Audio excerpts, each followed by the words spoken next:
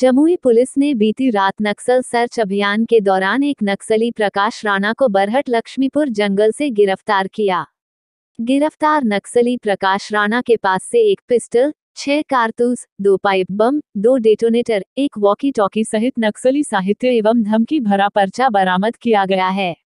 SP Pramod Kumar Mandal ने बताया कि गुप्त सूचना मिली थी कि नक्सली प्रवेश दा की टीम किसी बड़ी घटना को अंजाम देने के लिए एक जगह एकत्रित हो रही है। इसी सूचना पर छापामारी अभियान चलाया गया था। सूचना मिली थी कि एक दस्ता जो प्रवेशदा के नेतृत्व में पैसरा में है, वो जमुई जिला की ओर आने वाला है और कोई बड़ी वारदात को अंजाम देने वाला है।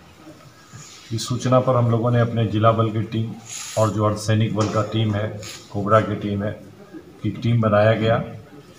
और जो सूचना जहाँ पे मिली थी, उस जगह पे घेराबंदी की गई। तो रात काफ़ी हो गई थी, लेकिन फिर भी बहुत ही हिम्मत के साथ कोबरा और हमारी टीम ने खदेरा नक्सलियों को। नक्सली चूँकि अंधेरा काफ़ी था, लेकिन एक नक्सली, जिसके बारे में हम लोग की पूरी सूचना थी कि वही लीड कर रहा है, प्रकाश राणा बराहट का, जो चौदह सालों से फरार था। लगभग चौदह सालों से फरार था, पंद्रह सोलह केसेस में वांटेड है। उसका स्थायी वारंट है। उसको पुलिस टीम ने पकड़ा। उसके पास से सेमी ऑटोमेटिक पिस्टल गोली magazine walkie talkie electronic detonator पिट्ठू बैग मंकी टोपी electronic wire pipe bomb Naxal banner और नक्सल साहित्य बरामद किया गया। बाकी टीम घाटी और अंधेरा जंगल होने का फ़ायदा उठाकर भाग गए हैं।